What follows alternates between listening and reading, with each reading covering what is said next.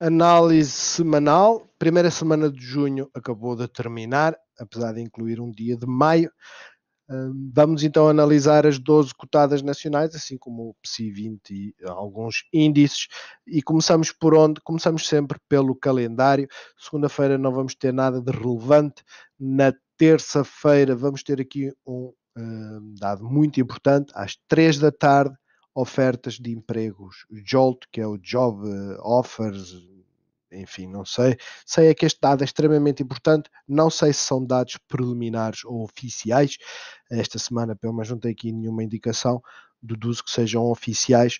Um, aquilo que nós esperamos é que pelo menos uh, esteja uh, ligeiramente acima do anterior. Uh, caso não esteja, os, os, dados serão mistos, porque a criação de uh, emprego desacelerando poderá ser tal qual como a questão dos payrolls, ou seja, ter um efeito positivo, e o efeito positivo porquê? Porque é sinal que a economia não está assim tão quente quanto se espera. Um, vejam, estejam ligados, por assim dizer, nas três da tarde e ver qual é o comportamento dos índices e das cotadas. Já quarta-feira é o dia importante para o petróleo. Eu continuo a achar que o petróleo vai chegar aos 70 dólares. Poderá ser então aqui este o momento um, ou a tal notícia que impulsiona o preço. Vamos ver. Um, não se esqueçam, é que os, os, os indicadores, por assim dizer, que são mais importantes é quinta-feira. Vamos ter um dia muito importante. 13h30 uh, eh, é um horário que vocês têm que estar ligados, porque dois pontos. Primeiro, pedidos iniciais de subsídio de desemprego. Eu acredito que este valor vai uh, estar em conta com uh, a previsão, ou seja, abaixo do anterior. isto tem impacto mas mais uh, do que uh, este impacto, uh, temos que conjugar aqui com ehm, o valor do índice de preços consumidor, ou seja, a inflação. Ehm, qualquer valor ehm, que esteja acima da previsão, vamos assumir aqui uns 3,6%. Não quer dizer que os 3,5% não tenham o mesmo efeito, mas qualquer valor acima desta previsão, mesmo um, um, um, valor em linha com esta previsão, ou seja, uma subida de mais de 10%, vai fazer com que a taxa do tesouro aumente, vai uh, fazer com que todas as, uh, digamos, os ativos que se usam para fazer hedge um, à inflação, ou seja, o ouro, uh, mesmo a Bitcoin, o dólar, o dólar, honestamente, nem sei se vai acabar por ter eh, uma reação de subida, mas é o mais certo. Um, vão subir e o que é que vai descer? Todas aquelas uh, que estão uh, alavancadas, muito alavancadas, seja o setor da tecnologia, mas vejam, até uh, a EDP Renováveis poderá sofrer com uh, um valor acima, porquê? Porque uh, é daquelas que está mais alavancadas, uh, por assim dizer. Já um valor próximo dos 3%, ligeiramente abaixo, seria fantástico. Eu não acredito que isso vai acontecer, eu acredito que vamos ter um valor ligeiramente acima, porquê? Porque nós tivemos o primeiro aquecimento, digamos que foi dos dados de abril, e se tivemos o primeiro aquecimento, foi uma subida assim, não é muito uh, normal que começamos a ter uma estabilização. Aquilo que é normal é termos este movimento e depois então começarmos a estabilizar. Uh, e este movimento sem ser em queda é basicamente ter aqui assim então um incremento não com tanta inclinação. Uh, tenham isso em conta, é, o da, é a data mais importante. Sexta-feira não se vai passar nada. Sexta-feira também é um dia muito calminho. Uh, o que é que poderá então uh, acontecer ao PSI 20? Primeiro alerta, isto é para aí a sexta ou sétima vez que estou a fazer estes vídeos, mas a partir de, uh, de, agora, quando avançar para as cotadas nacionais, nós vamos ter uma vela lateral no dia 7, na visão semanal, que está errada. Um, o programa está com um bug, não sei porquê. Uh, paciência, tenham isso em conta. Nos índices está tudo ok. Então, o que aconteceu esta semana no PSI 20 caiu 2%, uma queda fora do comum. principalmente quando é um facto que nós estávamos aqui a ter um momento de uh, alguma estabilidade e indecisão, porque apesar de termos aqui um Hammer, a rejeição de preços mais baixos, uh, o preço não variou assim muito. Nesse dia, na semana anterior, caiu meio por cento. Agora, esta semana tivemos aqui um afundanço brutal. Uh, honestamente, eu não estava à espera, mas vejam, o espanhol não fez muito melhor. Ou seja, o espanhol caiu 1,5%, mas o espanhol vinha aqui de um máximo, o PSI 20 tinha também um máximo. Então, quer dizer, nós não podemos estar tão surpreendidos eh, quanto isso, haver uh, certas correções. O que eu queria é que ele seguisse, sem dúvida, o CAC, ou seja, o índice francês das 40 maiores empresas, que subiu meio por cento, estabeleceu um novo máximo, uh, já tinha estabelecido máximos na semana anterior, já vinha de, de máximos, digamos, uh, andou a estabelecer máximos em abril, em maio, basicamente desde o início do ano, e o DAX também, após esta estabilização brutal, teve uma semana extremamente positiva, 1,36. O Standard Poor's está aqui numa zona de, de resistência, no entanto, uh, eu já recolhi aqui uns dados. Nós, para o SPY, por exemplo, segunda-feira temos uh, a maior parte das opções a expirar ou concentradas em termos de volume nos 425, na quarta-feira nos 418 e na sexta uh, nos uh, 425 novamente. Isto vai fazer com que o quê?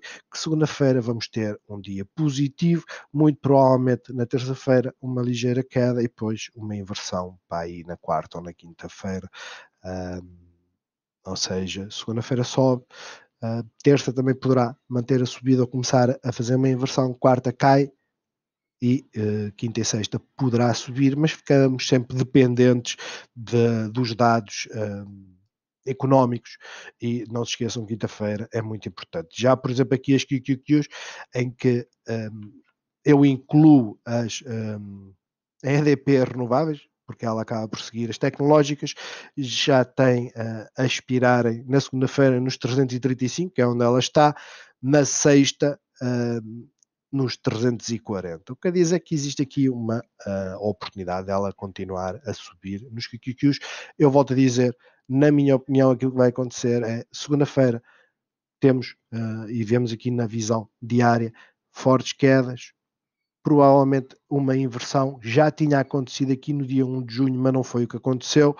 Um, vamos ver se é desta, porque estamos aqui numa zona de forte suporte.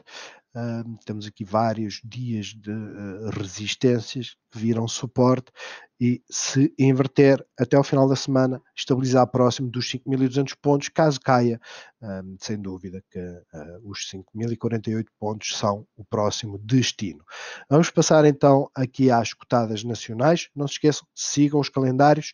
Eu vou fazer isto o mais rápido possível, porque eu não quero demorar uma hora. E vamos começar então aqui pela Altri, vamos inverter a ordem. Não te esqueçam, esta vela não interessa. Eu vou fazer aqui já um rabisco. Isto não interessa. Um, e aquilo que nós podemos uh, ver é que realmente, após duas semanas de fortes quedas, neste momento, para já, e é a parte mais positiva que temos, é que não, esta semana não caímos assim tanto. fizemos uma vela muito mais pequenina, muito mais controlada, rejeição de preços mais baixos, eu acho que poderemos estar a fazer uma inversão. Eu deixei alertas porque uh, o facto de eu achar que poderemos estar numa inversão não quer dizer que aconteça. No entanto, uh, na visão semanal, aquilo que vemos é que temos aqui uma forte defesa, uh, ou seja, aqui nos 5,54, isto seria mais ou menos uma queda de 3%, que eu acho que é muito penalizante. Mas para já isto é o downside, o upside, sem dúvida, é cá para cima e não ficar-se aqui pelos um, 5.90, ultrapassar mesmo. para isso, vamos então ver a movimentação, um, digamos, um, diária, porque na semanal aquilo que nós podemos ver é que realmente o volume tem estado a diminuir, o sell-off tem estado a reduzir, o preço tem estado a acalmar e na visão diária, aquilo que nós podemos ver, e ignorem esta vela, é o tal bug. Vamos rasurá-la aqui. Um, e aquilo que nós vemos é que realmente começamos aqui desde dia 21 de maio, que ela não faz mais nada se não cair, mesmo quando ela tem um dia positivo, não é assim nada relevante, porque logo a seguir desaparece. Um, o que eu acredito que vá acontecer é que estamos aqui numa resistência. Já agora vamos mudar aqui as cores também muito rapidamente. Um, estamos numa resistência e, como é óbvio, resistências, uh, como me indica, não. Uh, não são assim muito fáceis de ultrapassar. No entanto, parece-me que estamos aqui a inverter. Foi que uh, aconteceu, acabámos por ultrapassar, aqui até fechamos acima, fechamos acima da resistência, como podem ver, estamos ligeiramente acima. Claro que isto ao cêntimo também não, não é a precisão que eu uso, aquilo que eu procuro é uma exatidão e não uma precisão. Uh, mas para já aquilo que eu penso que vai acontecer é que vamos subir, muito provavelmente bater aqui nos 5.90, estabilizar e depois então decidir uh, para que lado é que ela vai tender. E o mais certo é essa decisão acontecer quando? Quinta-feira. Mas para já uma ligeira subida. Vamos passar à seguinte, que é a corticeira, a Morim. Tal e qual como as anteriores, ignorem esta vela. Uh, e a Corticeira Amorim aquilo que fez foi basicamente uma doji com caudas bastante extensas, não só houve rejeição de preços mais altos, como de preços mais baixos. Estamos num ponto de forte resistência. Uh, já estamos aqui a andar neste canal há bastante tempo, desde abril. Saímos fora do nosso canal uh, descendente, estamos numa resistência, vejam que ela é uma resistência importante, ainda tentamos ultrapassar, não conseguimos fazer um fecho, o ideal é fazermos uma vela igual é deste bug, mas positiva, ou seja, um fecho acima será extremamente bullish. Porquê? Porque estaremos a acompanhar aqui o movimento da nuvem, que é aquilo que nós mais desejamos. No entanto, não se esqueçam que este movimento daqui vem daqui. E isto foi bastante atípico, tão atípico que ela depois afundou. Eu não sei que raio de notícia que aconteceu nesta altura, um, porque ela desde então foram semanas sempre a, a afundar. Mas eu creio que isto aqui foi muito típico, foi transversal a todas as cotadas. Eu creio que dezembro foi positivo para elas todas. Mas, tendo isso em conta, um, e a visão diária, não se esqueçam, isto não interessa, a visão diária, aquilo que nos diz é que realmente temos aqui a nuvem que vai servir de resistência. Temos o suporte nos uh, eh, 1040, que neste momento nem é suporte, é resistência. Vamos ter suporte das moving averages, uh, então algo entre os, uh, se for para cair, uh, algo entre os 10, 16 e os 10 euros, é algo que vocês têm que prever. porquê? Porque a nuvem vai dar suporte mas ultrapassando vem aqui aos 10 euros, muito possivelmente, tendo em conta esta movimentação que ela faz, se houver um, uma queda forte, um flush, ela até pode ir mais baixo. Já no caminho inverso, vir então aqui em direção aos 10,70, parece-me bastante uh, aceitável. É uma subida de quanto? Eu por acaso nem vi. 3,5% para uma queda praticamente equivalente Parece-me bastante aceitável. Um fecho aqui nesta zona será bom. Poderá ultrapassar, mas um fecho aqui nesta zona já será muito bom. Em termos de outlook, não sei como é que anda a corticeira, mas pelo menos a indústria nos Estados Unidos tem estado forte. Claro que não são todos os setores, mas vale o que vale. Jerónimo Martins, o retalho tem estado realmente. Hum, um pouco bipolar. Isto é fácil ver por aqui. Há uma semana, onde é que está aqui? Vocês podem ver o Walmart, Target ainda ficou positiva, Costco, que são todas do setor da Sonai e da, da Jerónimo Martins, têm estado estáveis, não fizeram nada. E foi o que basicamente um, a Jerónimo Martins fez. Um, temos aqui, uh, apesar de termos uma subida de sensivelmente 0,6%, seguido de dojis, ela está bullish. Eu honestamente não vos consigo dar uh, uma informação maior do que esta, que é uh, ainda estamos na onda 3, uh, ainda estamos a fazer uma subida. Uh, a próxima barreira vai estar aqui nos 16,34, 16,30. Ela tem estado a estabilizar à procura de algum uh, motivo para arrancar. Se existir, ela sobe, senão ela vai continuar por aqui até se fartarem e começarem a vender as ações. Então vem aqui à nuvem, ou seja, aos 15,27 digamos que nem é uma queda aí por aí além. Mas a visão diária, aquilo que nos diz é que hum, realmente tem sido uma estabilização brutal. Um, facto que temos aqui uma gap. Um, e eu apresento este cenário, ou seja, a continuação desta lateralização à volta dos 15,88, caso depois ela decida arrancar, vir aos 16,40, um, quer dizer, teria que ser extremamente bullish, mas vir aos 16,40, e quando digo extremamente bullish não é porque a subida seja grande, porque não é, veja, são 3% de subida, não é nada por aí além, mas eu também estou a apresentar uma queda, hum, digamos, de 3,80, que é onde nós temos o suporte, esta é a linha hum, de tendência semanal que tem funcionado resistência, um, mas caso ela não decida subir e cair, sem dúvida, 15,34 até aos 15,18 uh, já será muito penalizante.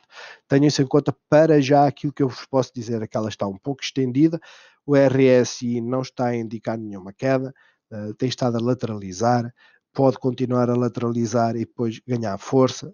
Vejam que esta é a parte mais importante da lateralização na altura em que ela estava com o RSI estendido, ou seja, em overbought, o preço uh, máximo estava aqui nos 15,22, por isso é que eu digo, não se deve entrar em pânico, o, um, o RSI dá-nos uma indicação, é um componente da equação, um, e porquê? porque vejam, ela saiu daqui, claro que estamos a falar já de uh, sensivelmente um mês, mas no mês ela variou entre os 15 certos, ou seja, uma queda dos 15, 22 para os 15 praticamente certos, e uh, com o RSI sempre elevado, ela acabou por uh, subir uh, de certa forma mais 6%.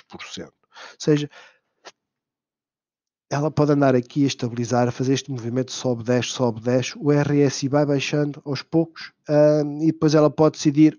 O grande problema do RSI estando aqui muito próximo do nível de overbought é que, que as subidas não vão ser explosivas. O ideal seria ela cair um pouco mais para quê? Para depois fazer uma subida explosiva.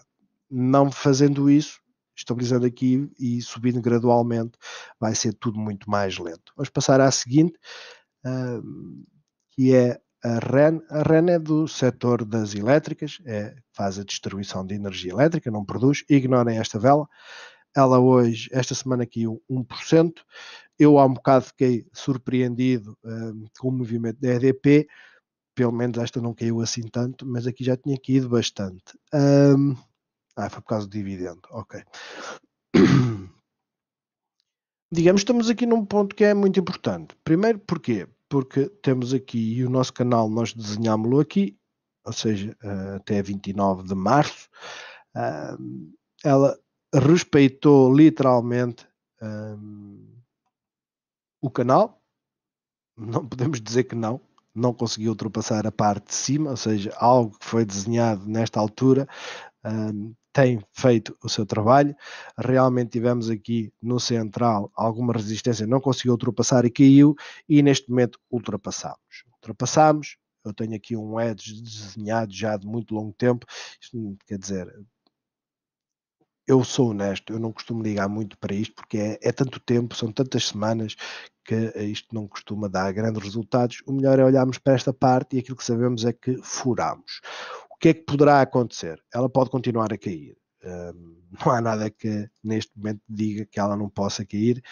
Um, o que tem motivado as elétricas a terem quedas, eu não sei, uh, mas como é óbvio, tudo que esteja envolvido nesse negócio uh, seguiu um, essa tendência.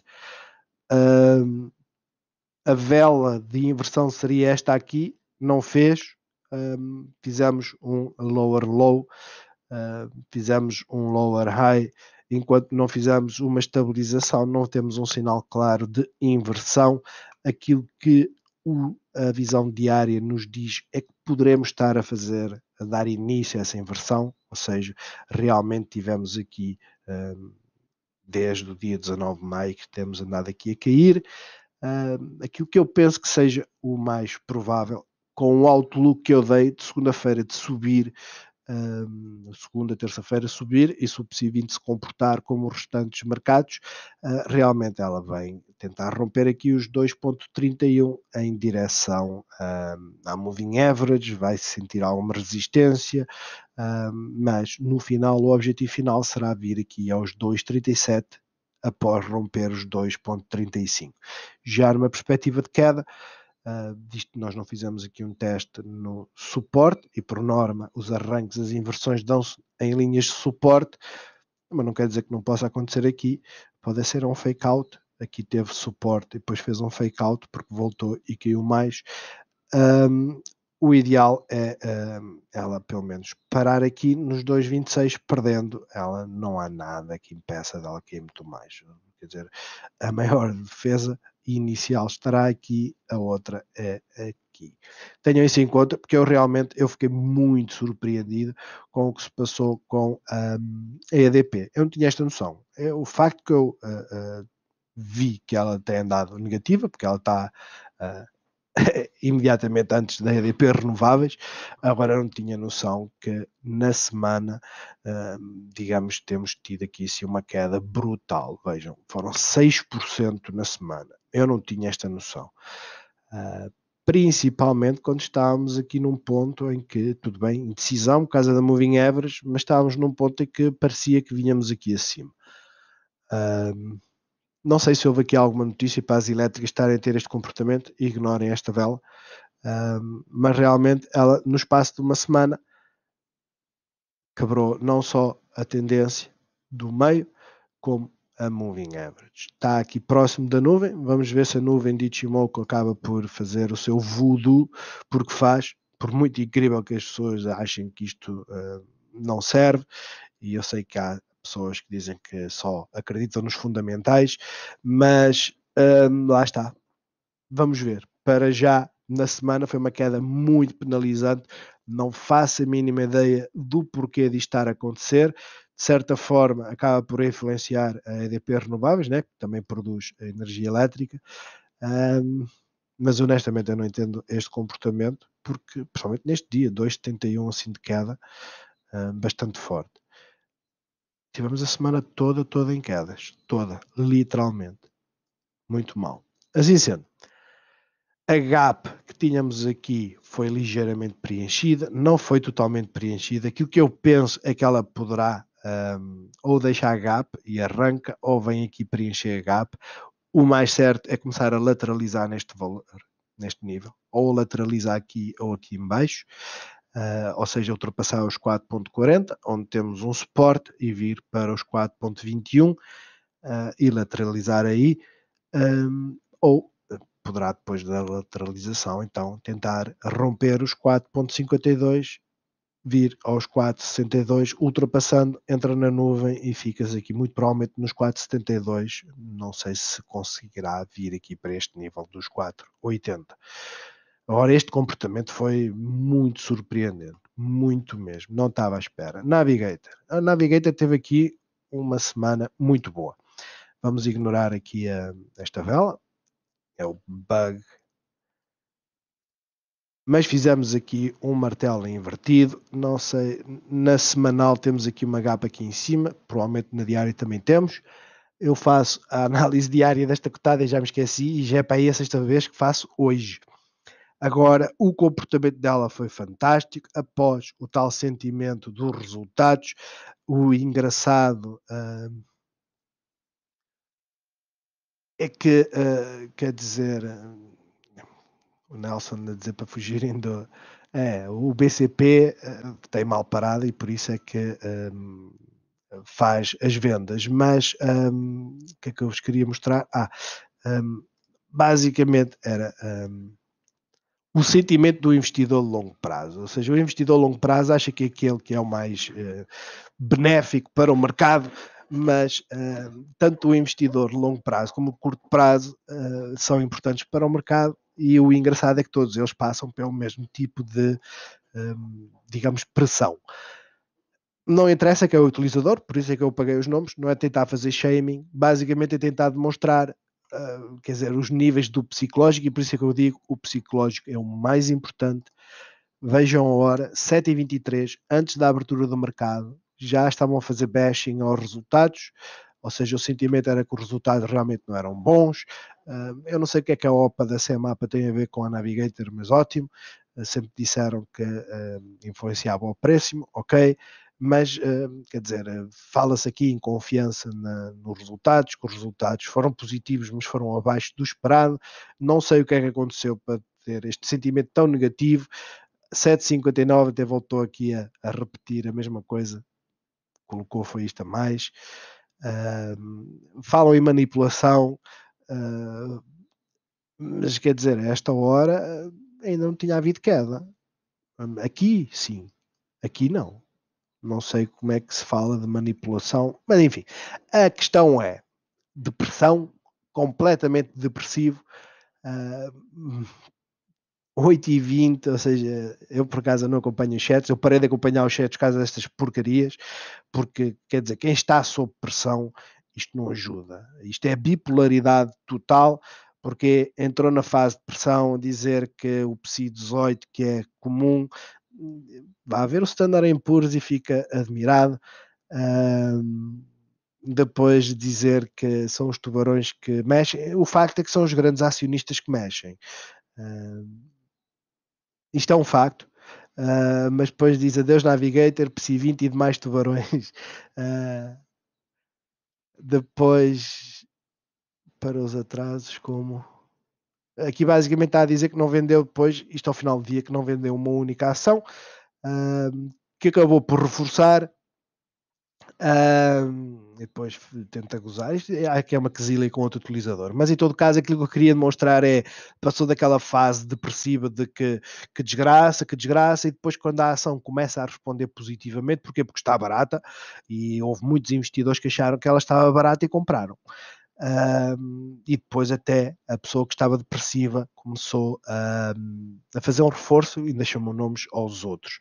Um, e depois, no dia 1 de junho, ou seja, um dia depois, já voltámos àquela onda de que uh, quer dizer, já estamos eufóricos outra vez, apesar dela ter tido uma caída. Uh, E depois diz que aqui que o mercado é que é soberano um, e que realmente o mercado é que diz o facto dela valer 500 ou 1000, uh, 1000 e se o mercado valoriza como 500 é o que ela vale. Eu volto a dizer, uh, e este utilizador é daqueles que diz que a análise técnica não interessa, aquilo que interessa é o fundamental. O facto é este: a Navigator não mudou fundamentalmente nada. Literalmente nada. Não é num dia que mudam. Da mesma forma que eu, e eu admitiu, eu saí da EDP, da EDP Renováveis, porque primeiro apresentou dados, que, resultados que eu não gostei, segundo baixou a margem, perdeu margem, tal qual por exemplo o BCP, ou seja, num período em que temos, eh, que é inverno, maior consumo, por carga d'água que as margens diminuem, honestamente não entendo, Uh, e aquilo que foi o meu ponto para eu decidir sair e cumprir, sair, foi que então o offshore é aquilo que dá menos dinheiro e é onde uh, eles prevêem apostar mais. Que disparate é este? E eu decidi sair, apesar de ela estar a subir. Ela tinha, estava numa fase negativa e no dia da apresentação dos resultados ela estava a, a subir e eu saí fiz uma boa saída. Claro que não, ela subiu até ao preço a que eu tinha comprado. Aliás, eu saí nas de longo prazo, ela chegou aos 19,50, salvo erro, tinha comprado a 19. Um, eu saí a ganhar e vendi, salvo erro, a 17,50. Mas lá está, isto para vos dizer que investidor de longo prazo ou de curto prazo, todos passamos pelo mesmo, a psicologia. E temos que ser muito fortes em termos psicológicos para entender por carga d'água é como a ação cai tanto. E vejam, a coerência foi que já na sexta-feira, na apresentação dos resultados, todos ficaram aborrecidos com os resultados. Ela já vinha de queda, já tinha feito aqui máximos. Um, agora vejam a nossa análise técnica e apesar de eu fazer análises diárias, eu não olho para a semanal. Uh, primeiro porque estas não é daquelas ações que eu esteja investido, então eu não olho para elas, mas vejam como isto funciona bem. Isto é, é esta ferramenta, basicamente uma uh, uma regressão da tendência. Eu desde que descobri isto fiquei maravilhado, uh, porque vejo, coloquei aqui 30 de novembro, 3 de maio, pelo menos nesta semana, ou seja, no início de maio, foi a última vez que mexi, e vejam como ela responde perfeitamente. Vejam como é que a nuvem exerce influência. Quem não aceita que os mercados são manipulados, que os mercados respondem a algoritmos com dados pré-definidos por analistas, por hedge funds, seja o que for, eh, não é investidor. Não é investidor. Tem que aceitar isto. E o comportamento desta semana da Navigator foi excelente. Porquê? Porque vejam, os preços caíram e vejam a força da compra. Brutal. Brutal. Ela já teve quedas antes e ninguém ligou nenhuma. Nenhuma. Veja o volume. Nenhuma. Não... Foi praticamente o volume anterior. E por isso é que ela depois continuou a cair. Rejeição perfeita de preços mais baixos. Vela indicativa de inversão. No diário, a informação que nós temos, e ignorem esta vela, é que realmente temos, vejam a Doge que nós tivemos aqui, um, ela chegou a vir aqui uh, preencher uma parte dos uh, da GAP que tinha criado, que ela abriu aqui embaixo, uh, minto, ela abriu aqui, ainda veio cá acima, ainda esteve cá embaixo, eu deduzo que o comportamento tenha sido este, que ela tenha afundado, tenham comprado, ela começou a subir e depois, quer dizer, os day traders ou quem está no curto prazo, aquilo que vê, mesmo que sejam os de longo, vê aqui uma oportunidade para sair, porque afinal de contas ela abriu aqui. Mas este movimento no dia, para uma cotada destas, 6% de amplitude é muito. Mas excelente, no dia a seguir ainda tentou romper para cima, positivo na mesma, inside bar, subiu, abriu com gap up, caiu. Sexta-feira foi brutal Uh, aquilo que eu penso, e uh, perdoem se eu uh, desanimar as pessoas, é que ela vai andar a fazer incrementos, mas estabilizar. Ela não vai voltar a fazer 2% de aumento assim num dia. Não creio. Mas o facto é que a nuvem também, uh, e ela tem navegado a nuvem, uh, se vocês forem a ver, a nuvem tem servido sempre como suporte, já há muitos meses, sempre como suporte. Uh, e o facto é que ela não quer entrar dentro da nuvem, então pode acontecer ela para a semana vir para aqui. Por isso é que eu dou esta, esta perspectiva. Mas, para além disto, não se esqueçam, 2,91. Temos aqui uma resistência também dos 2,97 e nos uh, 2,99.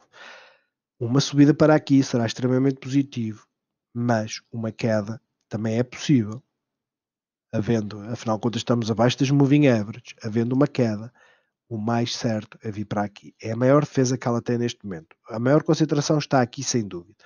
Uh, temos uma forte concentração aqui nesta zona.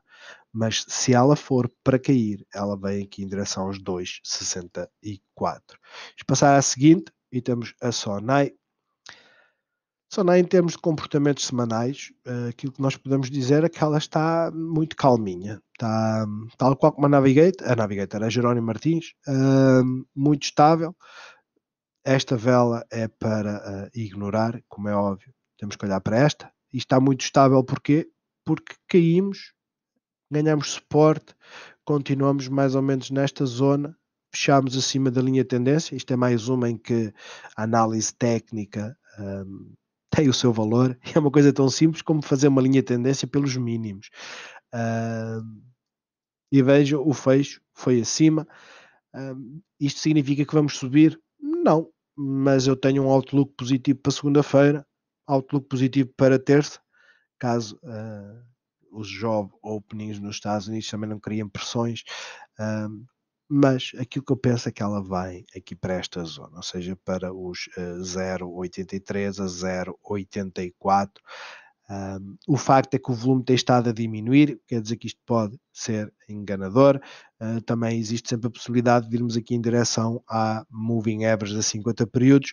A visão diária, uh, o cenário que nos dá um, já é um cenário em que nós tivemos aqui com algumas quedas, tivemos o suporte da moving average, tivemos aqui neste canal, agora já me recordo desta cotada, uh, tivemos este canal e saímos fora. Ignorem esta vela, saímos fora. Mas saímos e batemos onde? Numa resistência. Como é óbvio, uh, deixa-me mudar aqui a cor. Como é óbvio, não significa que voltemos aqui a entrar. Eu estou bullish para todas as cotadas na segunda-feira, pelo menos.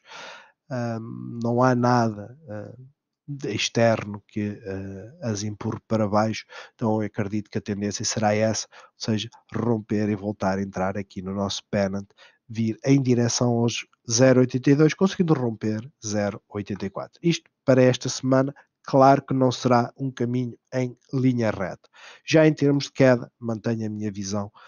Quem acompanha as análises uh, uh, diárias sabe que eu acho que no limite ela ficará aqui assim nesta zona. Uh, forte proteção. Se um dia ultrapassa, rapidamente no dia a seguir volta cá para dentro. Vamos passar à seguinte, que é BCP. BCP, também temos aqui o bug, ignorem esta vela.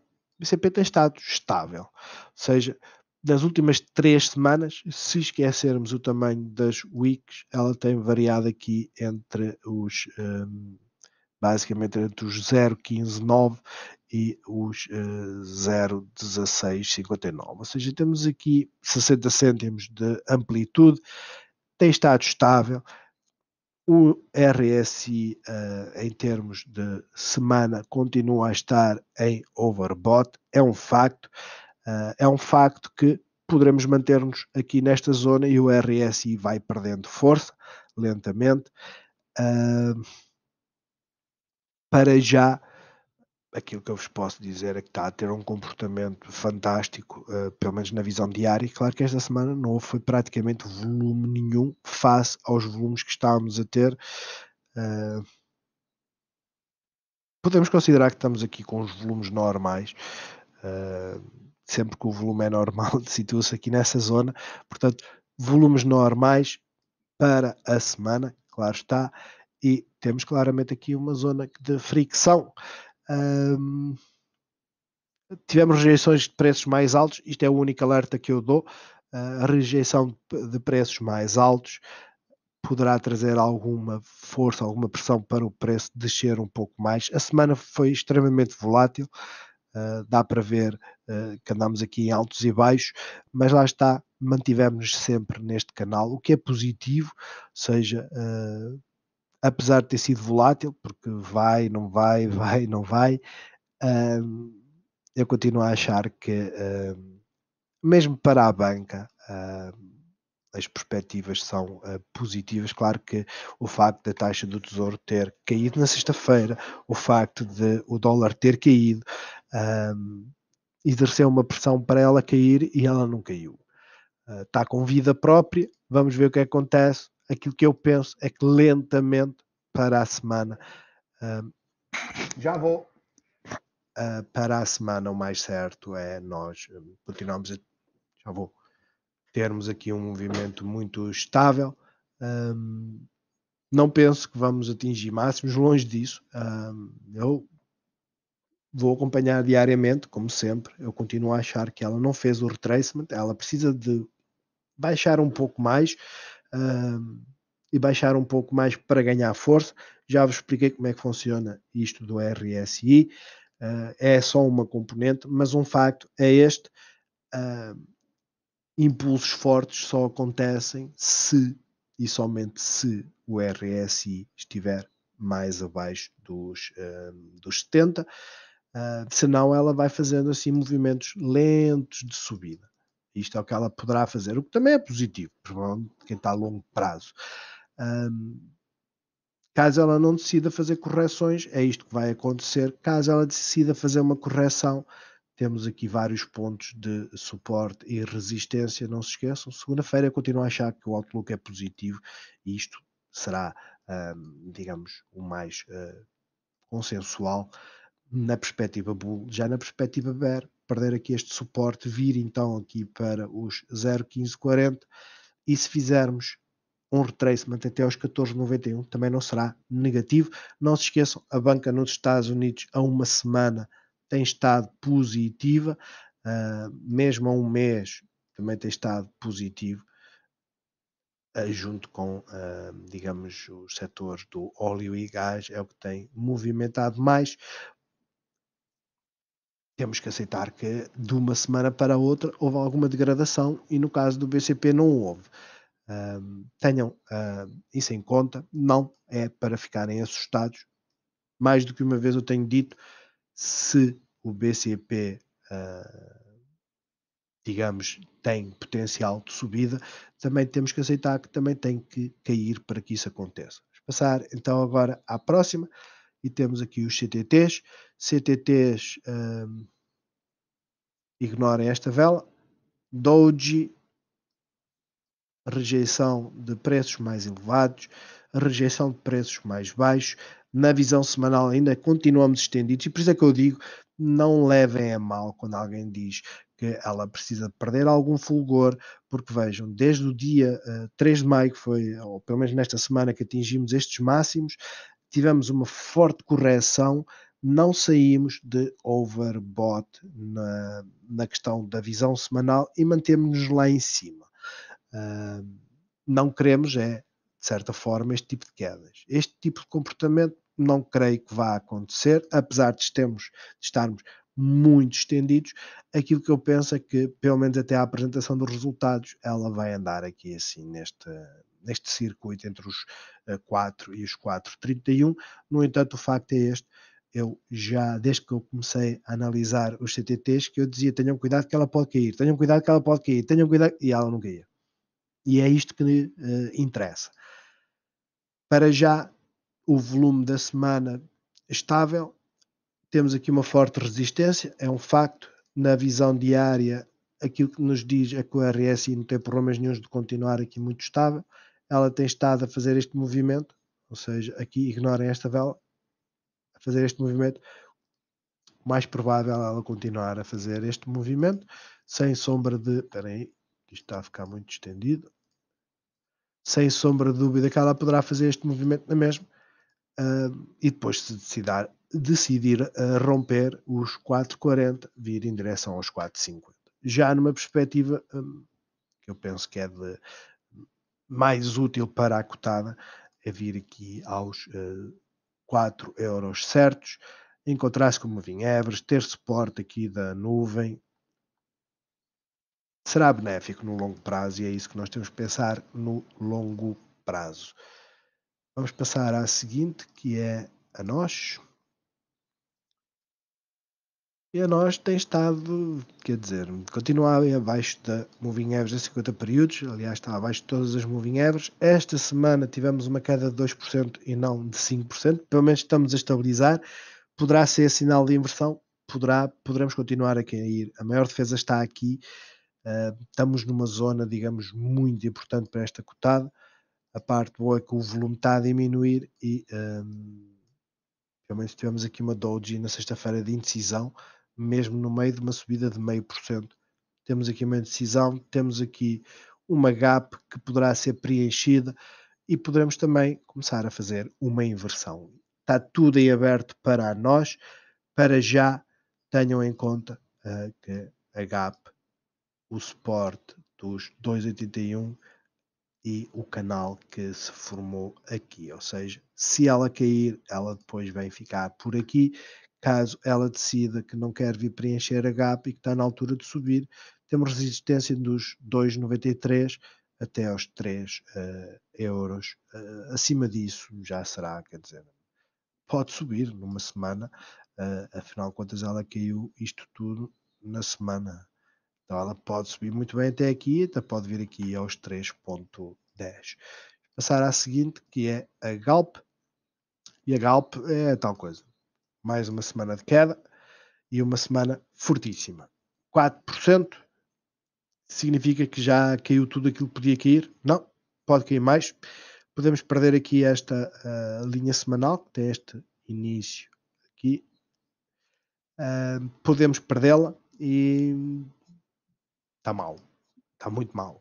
A perspectiva realmente, tal e qual como na Navigator, mas na Navigator uh, eu acho que aquilo foi fugaz, mas abriu lá um, uma grande gap. Neste momento a Galp tem estado em queda. Eu mantenho aquilo que disse para, um, quer dizer, na visão de sexta-feira, creio que é isso que poderá acontecer. Ela poderá vir aqui aos, ou seja, na visão semanal, ela poderá vir aqui aos 9,51 e depois começar a inverter e voltar cá para cima, uh, isto tudo no prazo de uma semana. Ela está extremamente instável depois da apresentação do plano. Uh, na Navigator, não gostaram dos lucros, eu não gostei da, da apresentação que teve. Ela necessita de uh, investir e não de dividendos. Aliás, uh, no nosso canal aqui o Jorge até perguntou nisso e eu falei, dei o exemplo. Não quer dizer que ela vá fechar, que vá perder valor. São das cotadas que mais dinheiro geram. Normalmente são este tipo de empresas, têm cash flows uh, enormes. Os cash flows da Galp na apresentação dos resultados foram fortíssimos, reduziu a dívida. Os resultados foram ótimos. Agora precisa de reinvestir e não de dar dividendos. Vamos ver como é que corre já agora. Eu tenho aqui tido uh, comentários, principalmente do Mário, que não têm aparecido. Mário Carvalho comentou, nós clicamos aqui, diz que tem aqui um comentário. Análise técnica de sexta-feira. Não sei se está a ser aqui algum bug, mesmo esta Cristina Sparks, que isto é daqueles, o comentário até já desapareceu, mas até mesmo esta, não está aqui nada. E aqui nem sequer que tem comentário. Não 3 de bug, junho. Tenham isso em conta, mas um, para já o outlook é este. A Galp apresentou uma perspectiva da treta. Uh, não sei quem é que gosta de dividendos. Eu gosto de dividendos se ela continuar a subir. Se o outlook é desinvestir, é de reduzir o investimento em 20% para dar dividendos, eu lamento, mas isto é, é treta. Vai ter que inverter, vai ter que apresentar um plano como deve ser. Uh, ele fez uma entrevista muito curta para, o, para a Bloomberg, o Andy Brown, lá como é que ele se chama, uh, falou sobre o gás de Moçambique, enfim, não me parece que isso seja um outlook de futuro, mas uh, vamos ver. EDP Renováveis seguiu o sentimento das elétricas, ou seja, forte queda, 4,62, tal qual como a EDP. Não sei o que é que está por trás destas quedas. O facto é que a EDP caiu, a EDP Renováveis caiu, a inversão de sexta-feira e o volume aqui foi enorme. O volume desta semana já voltou ao normal. Um, o facto é que uh, na sexta-feira tivemos um dia bastante positivo. Isto foi aquilo que creio eu que indiquei para um, já para esta semana e não para sexta-feira, creio que se eu meter aqui uma hora deve aparecer eh, a uma hora, tem outras indicações, portanto eh, eu já tinha feito esta, em termos de perder estes suportes todos, dos 18 e 32, temos vários, tinha aqui linhas a mais, tem aqui o retracement, ela já fez um retracement de 61%, mas existe sempre a possibilidade de vir aqui aos 78%, tenham isso em conta, ou seja, 17,73%, mas pelo menos parece, fizemos aqui uma ensaio de bar, parece-me que não há mais motivo nenhum para ela uh, estar a cair. Uh, e caso ela decida subir, 19,33 é onde teremos a resistência mais forte. É isto. Espero que todos tenham uma excelente semana, bons negócios e vemo-nos na segunda-feira.